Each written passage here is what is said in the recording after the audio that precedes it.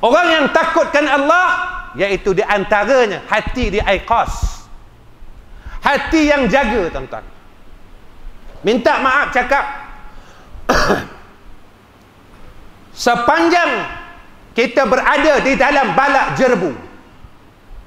Saya tak tahulah kawasan Pulau Pinang. Di kawasan Selangor tuan-tuan. Satu masjid pun tidak melakukan salat sunat hajat menolak balak Allah.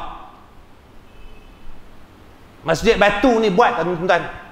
Semayang hajat tolak balak buat ke tak? Aku tanya orang masjid batu ni tuan-tuan buat ke tak? Tak. Jerebu ni rahmat ke balak ataupun tuan-tuan kata jerebu ni nikmat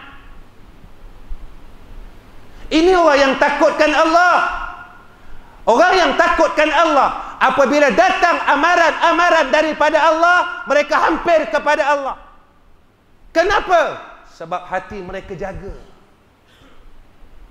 Mereka kata ini adalah amaran dari Allah. Amaran dari Allah. Balak dari Allah. Tidak mengira sama ada salih ataupun mereka ini fasik. Dia tak kira soleh ke kita fasik ke kita. Tapi tak ada tak ada orang minta. Walhal Rasulullah suruh Allahumma inna na'udzubika min juhdil bala wa darqi syiqa wa su'il qada wa samatatil a'da. Tapi tak ada orang buat. Tuan-tuan jerebu kali ini pelik. Makin hujan makin kuat jerebu tentang perasaan.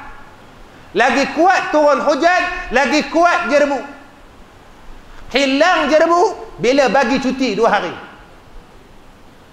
Orang yang Masya Allah apabila hati dia jaga Masya Allah tuan-tuan dia ingat benda ni. Dia peka kepada perkara ni baik. Kenapa benda ini orang lalai dan lupa?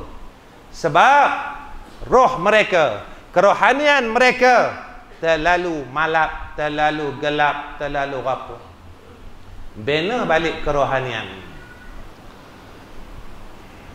Bagaimana untuk membina kerohanian?